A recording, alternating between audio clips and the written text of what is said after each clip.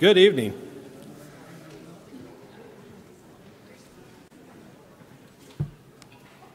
Good evening. It's good to see each and every one of you this evening or this afternoon. Begin our worship. Uh, a couple songs before our opening prayer. Now, the first song will be Firm Foundation. It will not be in your songbook, but it, uh, if I got it all right on the uh, PowerPoint projection, projection, there it is. There, we should have it on there. So I had some problems this afternoon, but it should be okay. If there are problems, it's because they're doing something wrong up there. All right.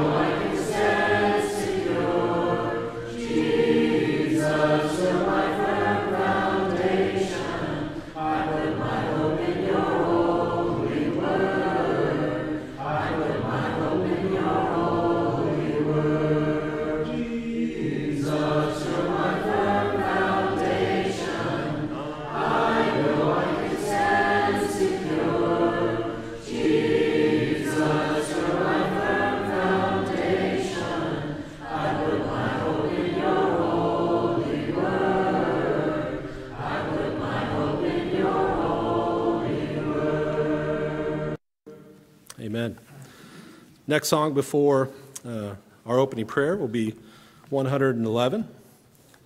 If you're following along in the books, it's 111. It actually will pop up 110 on the screen, but that's a that's another issue.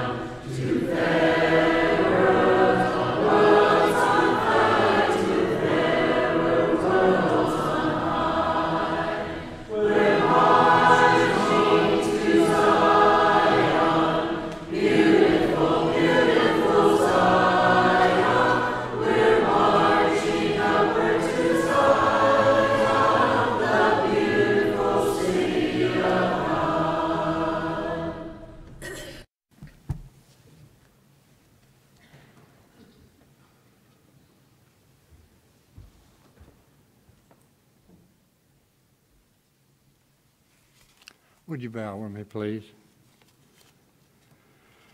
Holy, righteous, kind, merciful, long suffering, and loving Father in heaven, we know that it was love that, that sent your Son and our Savior to the cross to pay for our sins. Redeeming us and choosing us to be heirs of the promise and joint heirs with Christ. What love! That we should receive such a, a gift. It's, uh, it boggles the mind that we would be even granted that privilege. And we thank you very much for that. May we increase our love for you and your Son and for each other, knowing what Jesus said. They will know that you're my disciples and that you have love for one another. We come here asking you to please bless our elders as they look out for our souls, our deacons as they serve to aid in the works here at the church and our preachers who study the Word diligently and to help us better understand your will for us and what we need to do to please you. But by the same token, we ask you to please bless their wives, who in a way serve alongside them and give them so much support. Please, please bless our many uh, Bible class teachers they teach lessons of all ages, while at the same time they could be students of other classes that they would like to enjoy. Please bless those who serve behind the scenes here at the building, the many things that they do that we reap the benefit of. Please bless the School of Preaching, the Truth in Love television program and all those that help in those programs each and every day in each and every way. And also those that are attending to our youth or helping our youth. They are the, the future of the Lord's church here at this place. Please bless our many widows and widowers and shut ins and those who have health is ailing, and for those that have lost loved ones. Help us to help them in any way we can. And if we can't physically help them, please let them know that we love them and we're keeping them in our prayers. We know, Father, you must be grieved at the way this country is turning. They've almost banned God in most places. And it is such a sinful thing that you have to look upon.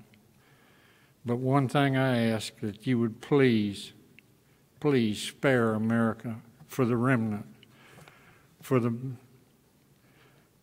many that have not bowed the knee to Baal, for the many that try to serve you each and every day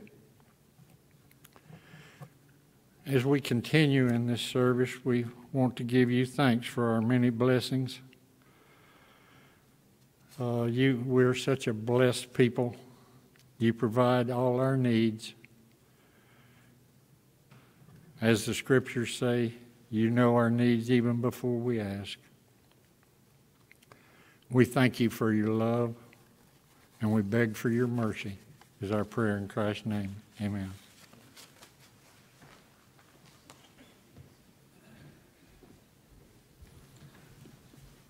Song before uh, scripture reading our lesson will be number 798 Yield Not to Temptation. And I ask if it's convenient for you that you'd stand as we sing the song.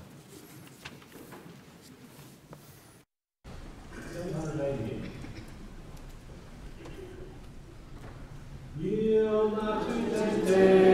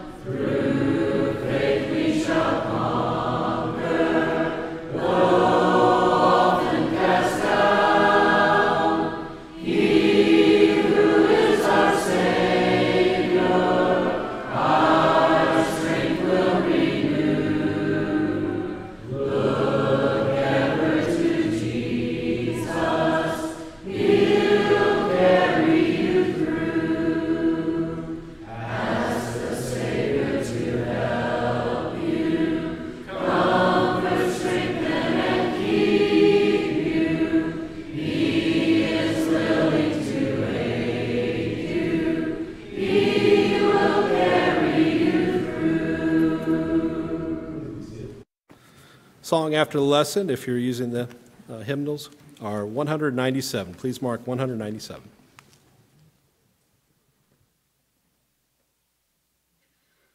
The scripture reading for this evening will come from the book of Genesis, Genesis chapter 4, verses 1 through 7. I'll be reading out the English Standard Version. Genesis chapter 4, verses 1 through 7. Now Adam knew Eve, his wife, and she conceived and bore Cain, saying, I have given a man with help of the Lord.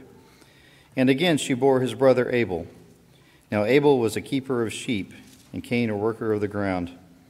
And in the course of time, Cain brought to the Lord an offering of the fruit of the ground. And Abel also brought of his firstborn of his flock, and of their fat portions. And the Lord had regard for Abel and his offering but for Cain and for his offering he had no regard. So Cain was very angry, and his face fell. The Lord said to Cain, Why are you angry? Why is your face fallen? If you do well, will you not be accepted? And if you do not do well, sin is crouching at the door. Its desire for you, but must, you must rule over it.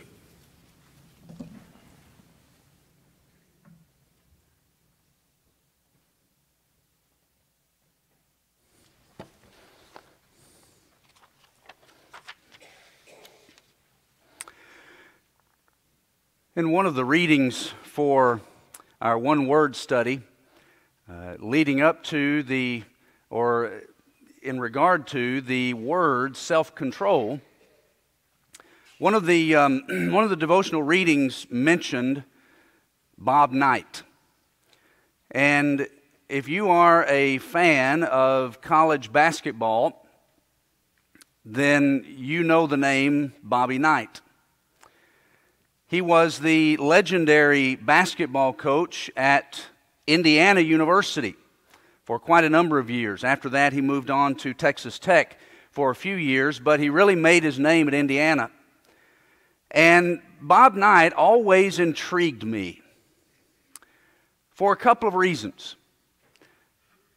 Mainly because he was such a mixed bag. On the one hand, he graduated all of his players. His program, to my knowledge, never faced any kind of NCAA sanctions because of, of uh, misdeeds on the part of him or his staff. He never got the program in trouble. He had consistently good teams, won some championships.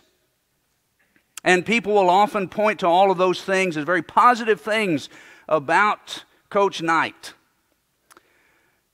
But the other side of that was he had a volatile temper.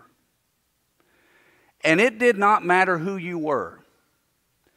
He was not afraid to explode that temper toward you. Students on campus, his own players, certainly the media. And he seemed to want to control everything. He wanted control of his players, certainly. Every coach, I guess, wants that. But he wanted control of interviews. Anytime someone was interviewing him, he wanted to control everything about that encounter. He wanted to control press conferences. Everything about his life in the public eye, everything about his program, he wanted to control it. And some would even argue that while he was at Indiana, it ultimately wound up that he, in some ways, controlled Indiana University from the basketball program. Until. Until the only thing he didn't control did him in, and that was himself.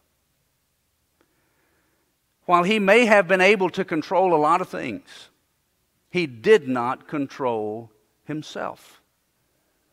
And when his lack of self control, his outbursts of anger continued to involve physical altercations, even after warnings from the university. Finally, Indiana said, Enough. And they let him go.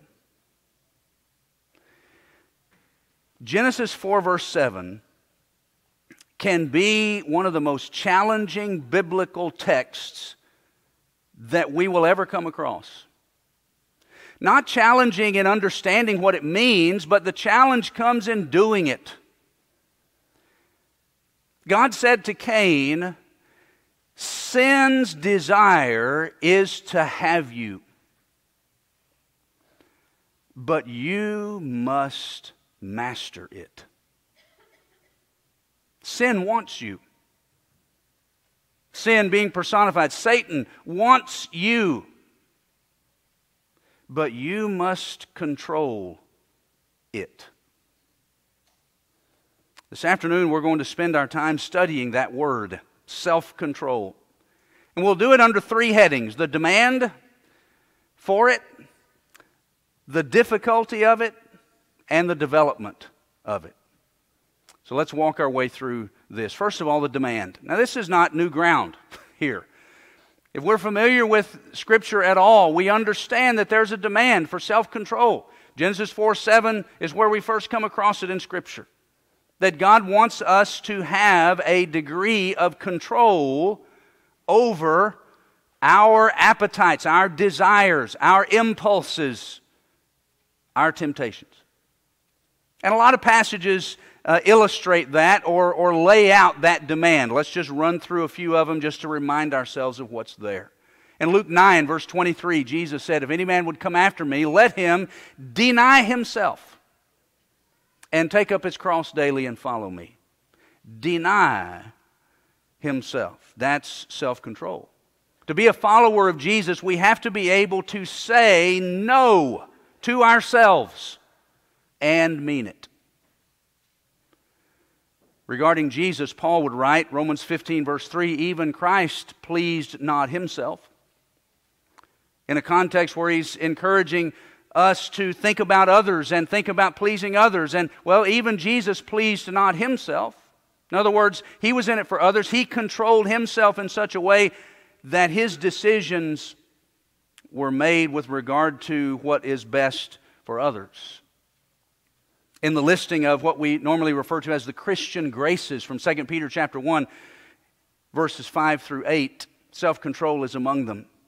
Add to your faith moral excellence, to your moral excellence knowledge, to your knowledge self-control, and to your self-control perseverance, and then godliness, brotherly kindness, and love. Self control is also in the listing of the fruit of the Spirit, Galatians 5, verses 22 and 23. Self control. Proverbs 25, verse 28 says, Like a city that is broken into and without walls is a man who has no control over his spirit. Isn't that an interesting way to describe the demand for self control? When a person does not have the ability or does not exercise his ability to control himself, he said it's like a city that has no walls. And we don't understand that concept in our modern time because our cities don't have walls around them. But back at that time, they did. They needed them. That was their protection. And so, if you had a city that had walls broken down, that city was vulnerable to attack from whatever side there was no wall. The Proverbs writer is saying when we lack the ability to control ourselves, or when we don't exercise that ability, we're setting ourselves up for all kinds of spiritual attacks. And so the demand for self control is evident, and it's evident in a number of life areas. Certainly, it involves our controlling of the body. Paul addresses that in 1 Corinthians chapter 6 when some were were essentially uh, trying to make the case, it seems, that they could do whatever they wanted to with regard to the use of their bodies.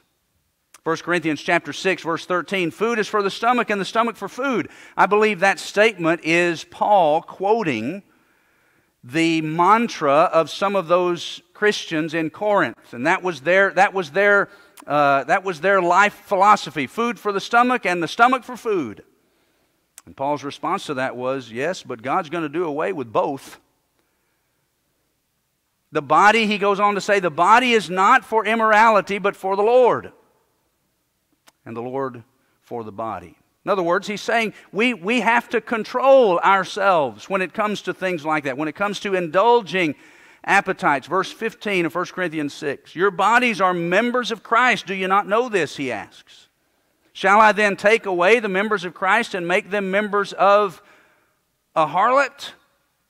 May it never be. In other words, you have to control how you use your body and don't join yourself to a harlot. Know ye not, verse 19 of 1 Corinthians 6, that your body is a temple of the Holy Spirit who is in you, whom you have from God, and you are not your own. You've been bought with a price. Therefore, glorify God in your body.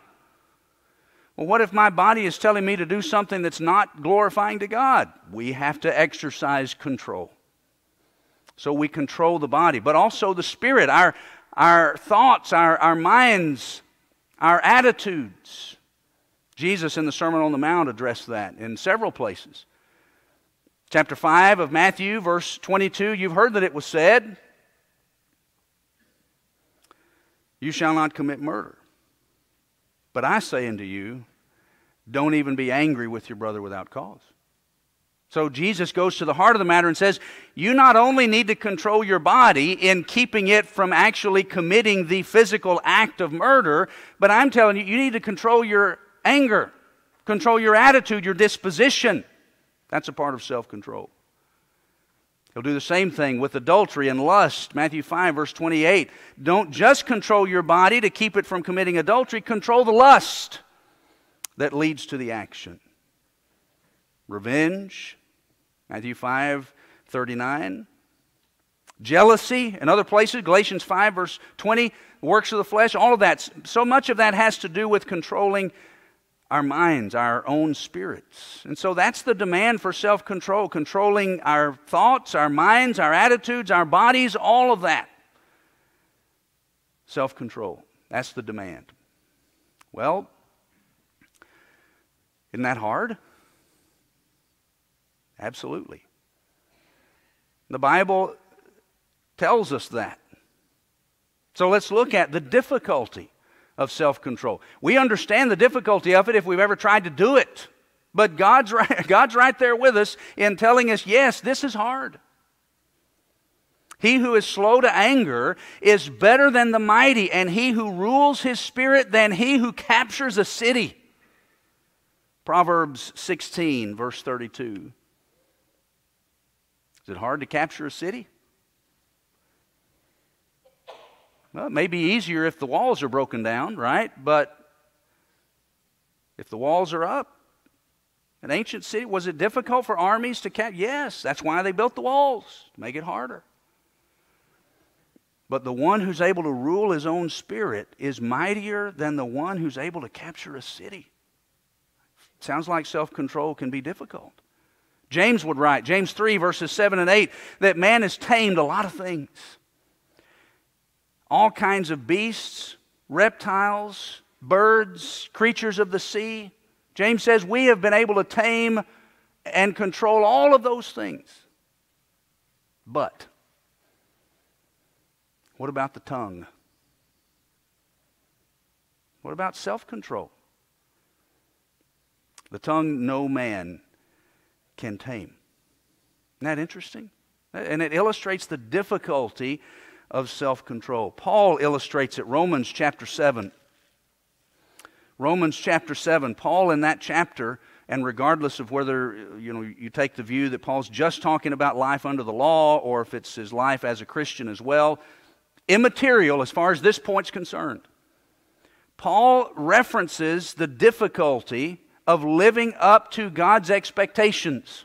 Regardless of what covenant you're talking about, we're always fighting ourselves to control ourselves, to, to do the things that we know we should do, and refrain from doing the things we know we shouldn't.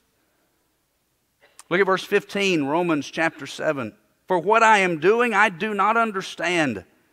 For I'm not practicing what I would like to do, but I'm doing the very thing that I hate. Ever have that conversation with yourself? How about verse 19, same chapter?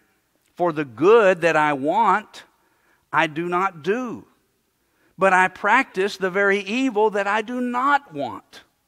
Ever had that conversation with yourself?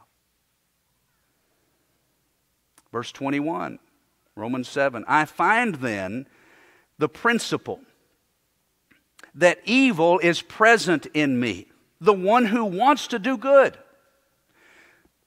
Paul says, even though I want to do good, I still find that there is evil within me. Verse 22 I joyfully concur with the law of God in the inner man. It's not that I want to rebel against the law. It's not that I don't understand the nature of God's law. I understand it. I concur in my own inner person the goodness of it. I want to obey it. I want to be faithful. I want to do what God wants. But verse 23 but I see a different law in the members of my body, waging war against the law of my mind, and making me a prisoner of the law of sin which is in my members. Paul is addressing what some have called the great civil war in the human heart. where there is a part of us that, that understands that God wants us to live righteously and we understand what that means and we want to do that, but there's also a part of us that pulls us the other direction. We're drawn away by our own lusts and enticed, to use the words of James chapter 1, verses 13 to 15. And there's that constant battle, that constant civil war that goes on within our own bodies of wanting to do what's right, trying not to do what's wrong, but we're not always successful. Why? Because it's hard. The difficulty of self control. But now let's move to the development of it. Our own experience teaches us the difficulty. Even if God didn't say anything about it in His Word, we would understand that it's difficult just by our own experience. But God's told us that. And we understand the demand for it, that it's something that we need to develop. It needs to be a part of our character. So, how do we do that? How do we develop it? What, what, um, what assets do we have that can help us in this process? Well, let me say a couple of things before we list some of them. Probably not going to be any surprises here. Uh, much of what I'm about to say is probably not going to be breaking any new ground. Another important thing to remember is that none of these things that we'll talk about is a magic switch. In other words, if you recognize that you lack some self control, and maybe, and maybe your self control is strong in some areas, but weak in others, that there's some temptations that come your way that you really don't have any problem uh, resisting those. It's not perhaps not one of your weaknesses. And so your self control is strong in some areas, but maybe not so strong in others. If that's the case with you, none of what we're going to look at in the Word of God is a magic switch that if you just, you just all of a sudden flip it and all of a sudden, boom, you've got self control. Self control is a matter of growth, it's a matter of maturity. It's, it's, it's something that's a part of our character that is developed over time by utilizing these assets that we have at our disposal. It's a process. The old adage about how you have to crawl before you can walk and, you, and walk before you run, all of that's true with regard to developing a lot of these character traits that we desire. And even if and when we develop self control and it gets stronger in us, it's still the case that from now until the day we die or the day the Lord returns, we're still going to be battling within ourselves. There's still going to be the fight. We're never going to reach the point in this life where we don't have to struggle, where we don't have to fight against temptation. It's going to be there. But we can develop self control to the extent that we recognize that we're stronger, that we're better, that, that we're not giving in as often as before, and, and we're improving and we're growing. And that's our desire. So it's not a magic switch. None of these things individually, nor all of them collectively, are a magic switch that's just going to automatically make you immune to sin. But they can help us to develop this character trait to a greater degree than perhaps we have it now. So, how do we develop self control? How do we utilize it? How do we, how do we control ourselves? Consider these points with me. Number one, let's deepen our appreciation for the grace of God. Deepen our appreciation for God's grace. Paul in Titus 2, verses 11 and 12, tells us something about the grace of God. He says, For the grace of God that brings salvation has appeared unto all men, teaching us that denying ungodliness and worldly lusts, we should live soberly, righteously, and godly in this present world. The grace of God teaches us self control. The grace of God teaches us to deny ungodliness and worldly lust. What is that? That's self control. The more time we spend thinking about, meditating on, being grateful for, basking in the glow of God's amazing grace, the more we can develop self control because our deep gratitude to God for all that He has done and is doing for us will motivate us to live in such a way that we will not disappoint the one who has been so good to us. You want to help develop your self control in regard to whatever your area of weakness may be. Develop your appreciation for God's grace. Because it's God's grace that teaches us to control ourselves. I would say in the next place, we can develop our self control by spending, increasing our time in the Word of God. Now, when I said earlier that we're not breaking new ground, I, that's true. And you probably thought, well, he's going to get around to Bible study. Well, yeah, he is. Because the scriptures are clear that, that's it, that it's so important for us to spend time in His Word to develop our character to the point that we can better resist temptation. Your Word have I hid in my heart that I might not sin against you. Psalm 119, verse 11. Hide the Word of God in your heart. Make it a part of your life. Make it a part of your character. And that helps to inoculate us against giving in to temptation.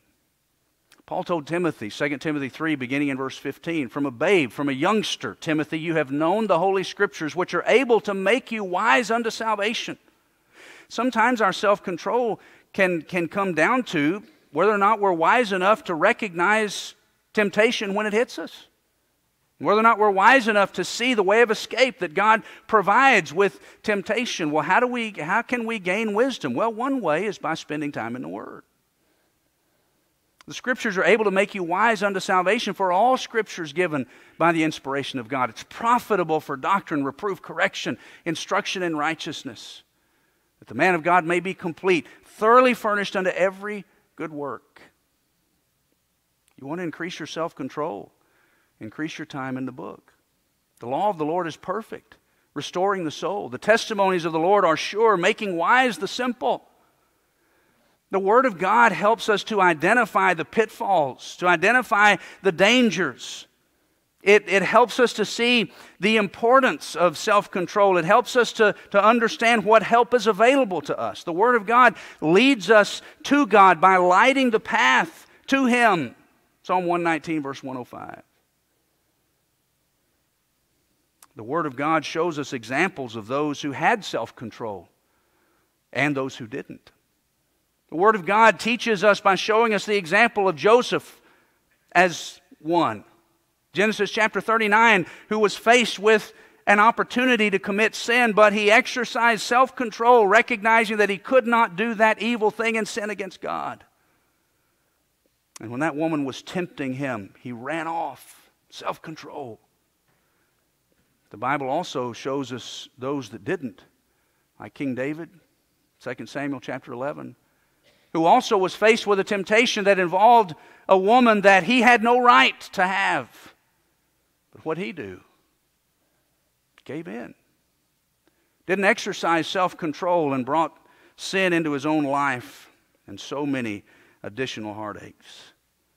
If we want to invest in our own self control, then invest time studying, reading, thinking about, meditating on the Scriptures. And I've said this before, and by way of reminder, if you're setting aside time each day to read from the Word of God, can I encourage you to split that time into two sections? In other words, if you say, All right, I'm going to spend an hour with the Word of God, can I encourage you to split that time in half and spend the first 30 minutes reading from the Word and the next 30 minutes thinking about it.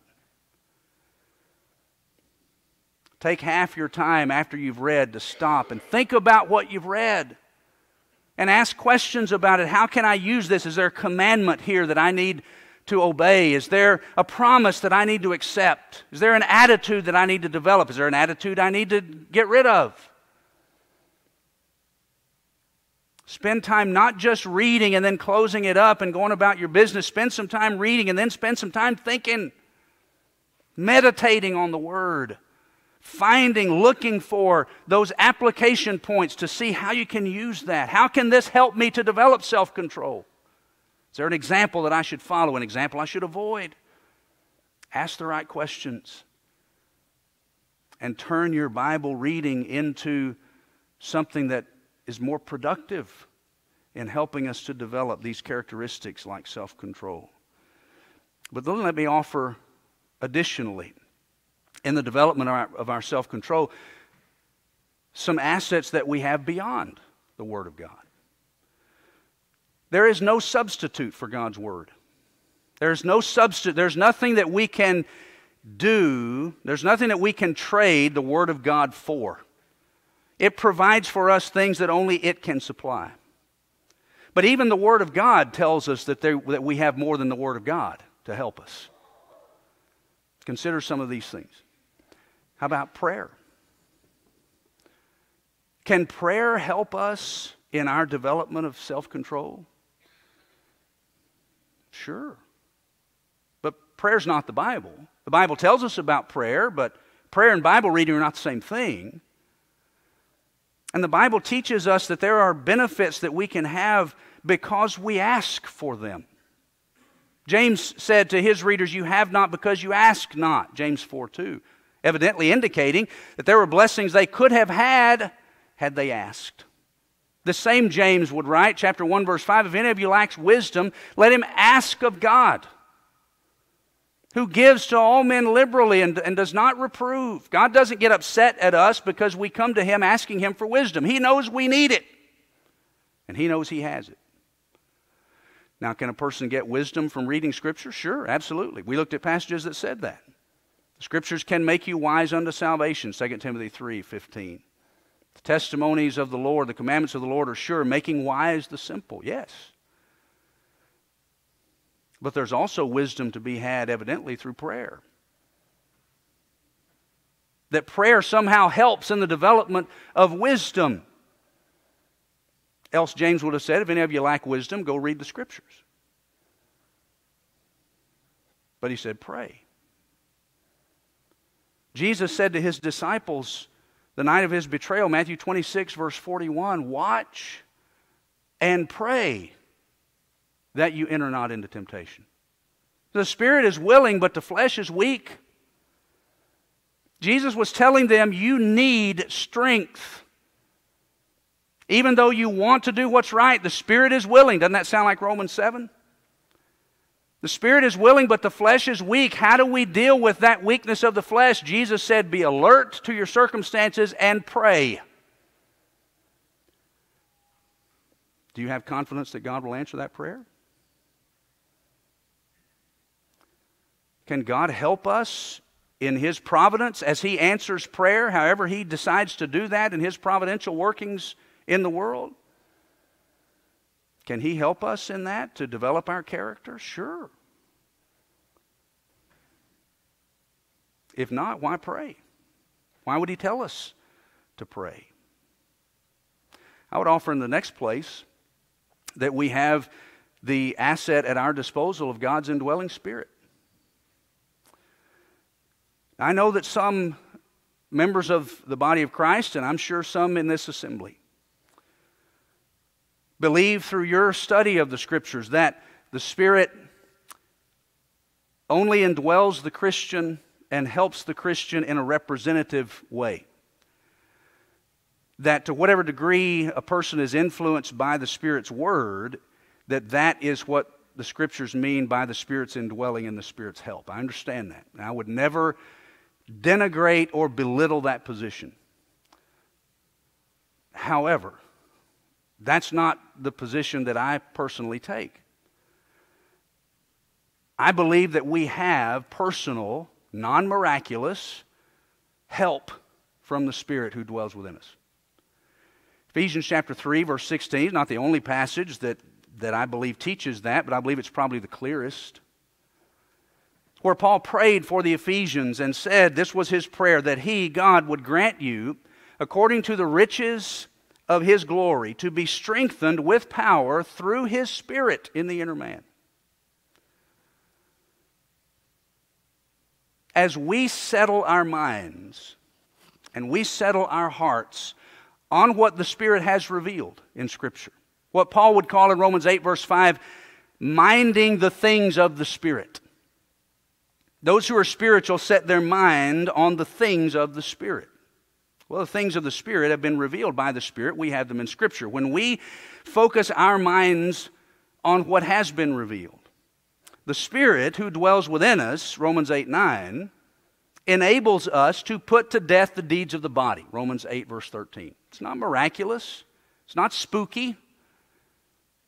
That's just simply the language of Scripture. The Spirit doesn't do it for us. It's not that we are passive.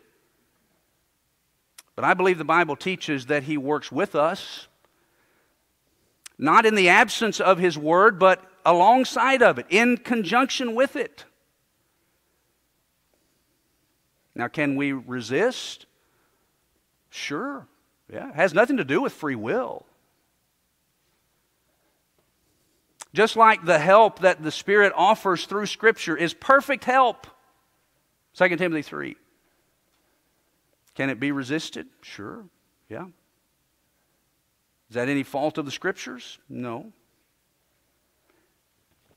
Can I resist whatever strength may be provided me through the indwelling of the Spirit? Sure, yeah. I still have my free will. And it's no fault of God.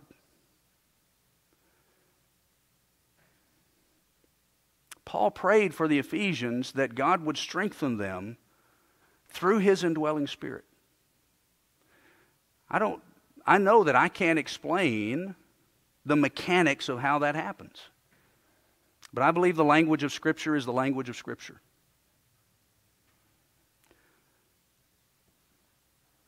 And if Paul could pray that God would do that for the Ephesians, can we not pray that He do it for us?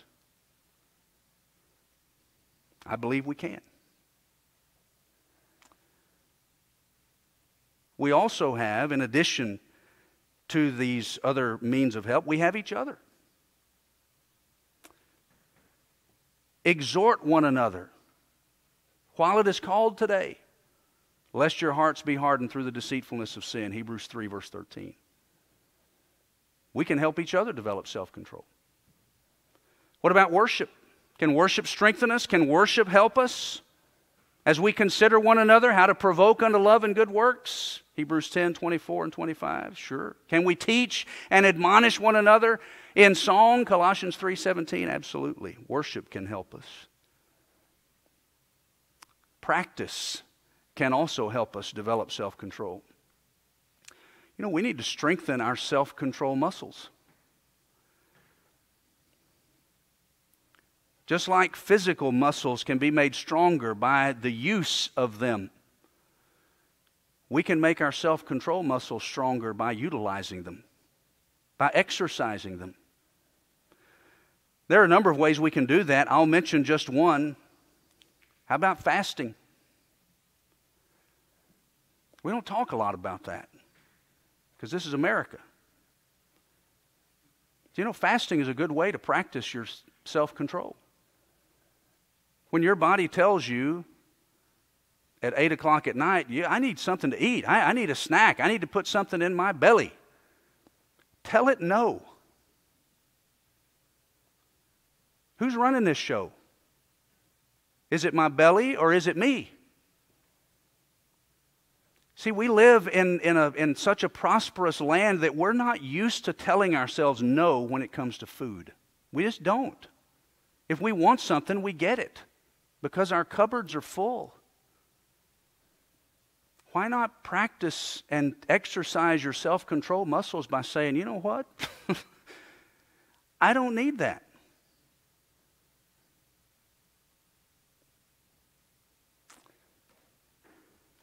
if you're thinking with regard to self control, with all that we've said, if you're thinking to yourself, I can't do it, I can't do it, well, I've got news for you.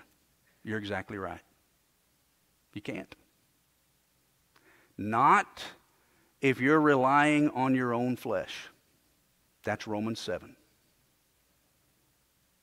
Paul said, I can't.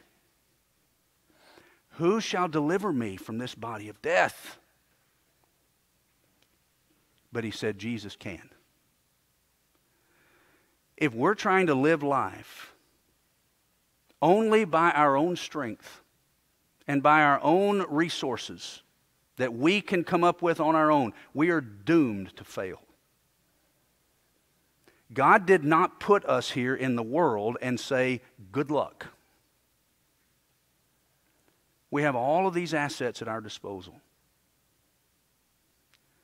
His Word, each other, His grace, prayer, Spirit, worship, and others. And that's the irony about self control. Self control is not all about the self. Do we have to work at it? Absolutely. If, please do not take away from anything that I said tonight that Eddie got up there and said, you don't have to do anything. Work out your own salvation with fear and trembling. Philippians 2:12. But you know there's also verse 13. For it is God who works in you both to will and to do of his good pleasure. That's the marriage between those two concepts. God didn't just put us in here in the world and say, Good luck. He said, Yes, you work at it, but you recognize that as you do, God is working in you. That's what makes it successful. That's what gives us hope. That's what enables us to say, you know what? I can do better. I can grow. I can improve. I can strengthen those muscles because I'm not working at this by myself. God is working with me, through me, and in me. And with that, how can we not hope? Let's pray together. Father, we're grateful for the convicting nature of your word. We're thankful that it shines a light on our weaknesses, but that it also shines a light that leads us back to you, our strength. And we pray, Father, that as we develop, as we strive as best we can to practice self control, to exercise those muscles, we pray, Father, for your help. We pray for your strength. We pray for soft hearts to be guided by the message of your word. And we pray that as we commit ourselves to that, that you will offer us the help and the strength that we need and that we desire, that we might find success, but success that only you receive the glory for. Through Jesus we pray. Amen. There may be someone tonight who needs to respond publicly to the invitation of God. Maybe you're ready to come out of the world, be added to the body of Christ. If you're ready to be a part of the family of God, to be baptized into Christ for the forgiveness of your sins. You have an opportunity to do that.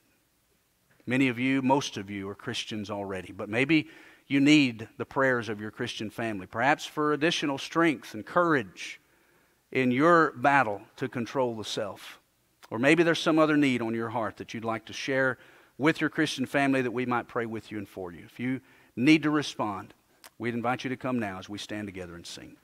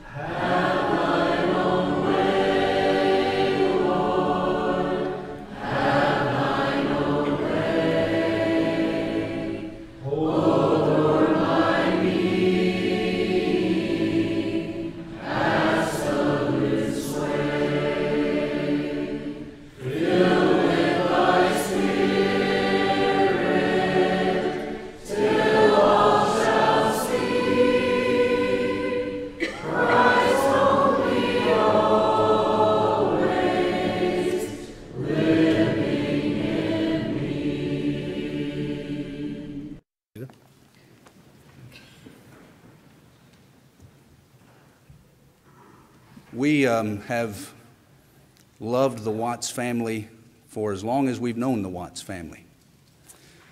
And um, uh, we're grateful. We've interrupted the webcast right now because the congregation is handling a matter that is both delicate and personal. As you heard at the end of the sermon, we extended an invitation for anyone who had a spiritual need to come before the church and make that need known. This invitation is offered at each of our assemblies. Sometimes a person will respond in order to be baptized into Christ, Galatians 3:27. Sometimes a Christian who has been unfaithful to God comes to confess that unfaithfulness, to seek the forgiveness of God in prayer, Acts 8:22, and be restored to the fellowship of the church. At other times, someone may just have a heavy burden that they're bearing and he or she wants to ask the church to pray with and for them. Someone has responded to the invitation today. I'm sure you understand that these matters, especially the confessions of sin and requests for prayer, can be very personal. And for that reason, we choose to handle them apart from the webcast. Thank you very much for your patience. The webcast will resume shortly.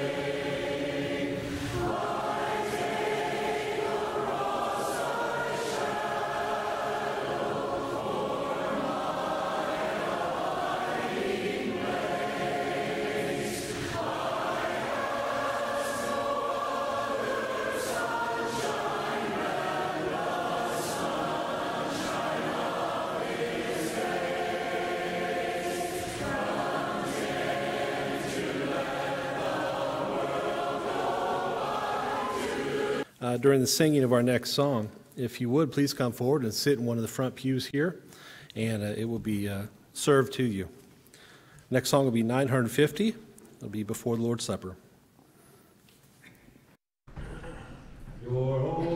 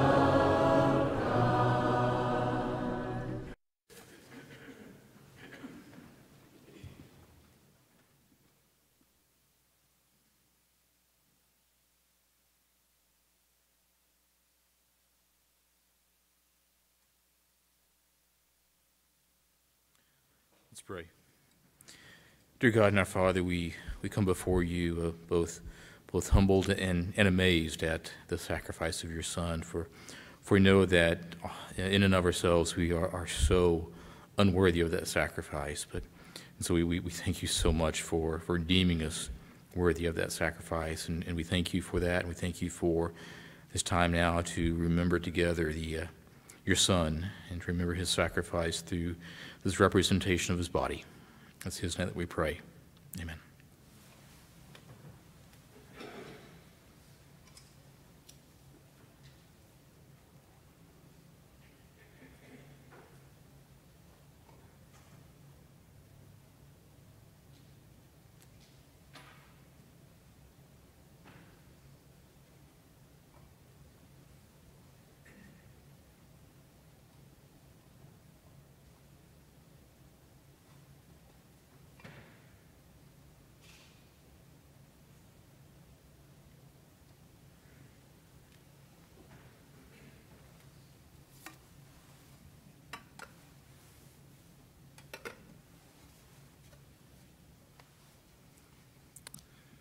Our dear Heavenly Father, we are so thankful for so many things. And as we continue our remembrance for Jesus tonight, we are so thankful for his blood that was shed on the cross for each one of us. We pray now that you will help each of these that partake set aside other thoughts and concentrate on that blood that was shed for us. In Jesus' name we pray. Amen.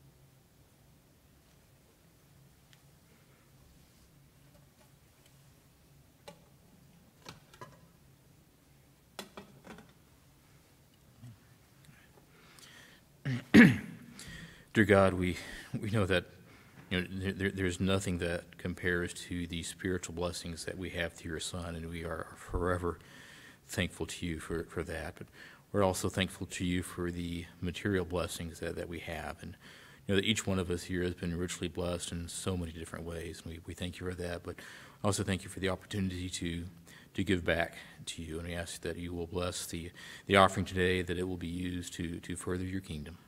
Your son's name we pray. Amen.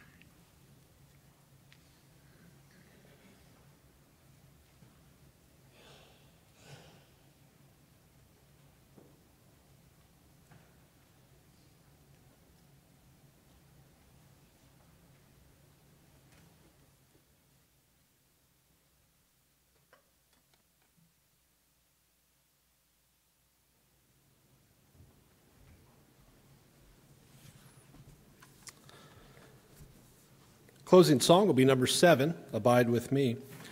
Uh, before we sing that, uh, to those of you who are visitors, thank you so much for being here tonight. We hope that you'll get a chance to stick around so we can get to know you uh, uh better. And also, if you would, please fill out the visitor's card that is in the pew in front of you, the white card. Please fill out that portion and uh, hand it down at this time to the end of the aisle. And uh, young men, during the singing of this song, will pick up the cards. Also, members, fill out your side of the, of the card too and pass that down to the end of the row so we can get a record of your attendance here. Uh, I want to uh, just real quick announcement. Um, this coming Saturday, March 30th, um, it's the ninth annual Northwest Church of Christ singing. Uh, the Church, uh, Northwest Church of Christ in Fort Worth or near Lake Worth is having their annual singing beginning at 6:30 that uh, Saturday evening.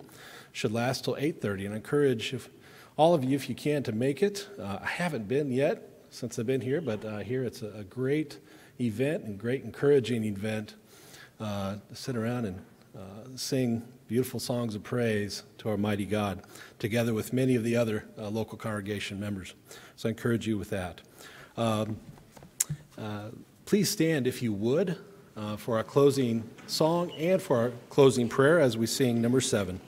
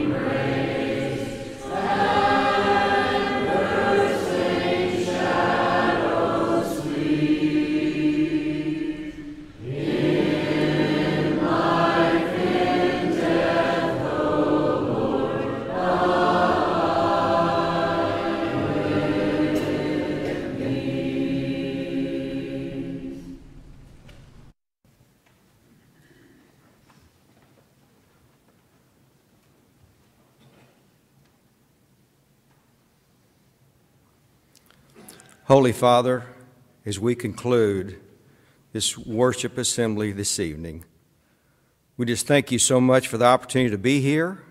We thank you so much for Jesus, and we thank you so much for allowing us to worship you in your house on this day.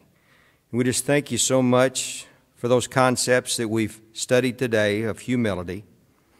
And tonight we've studied about, uh, about self control, dear Lord, and we just pray that you'll help us apply those concepts into our lives so that we're more like Christ and we walk with Him every day. And dear Lord, we, play, we pray for Renee at this time that your work and you'll work in her life. But dear Lord, we pray for all of us that you'll do your work and always work within us, dear Lord, that we're more like Christ.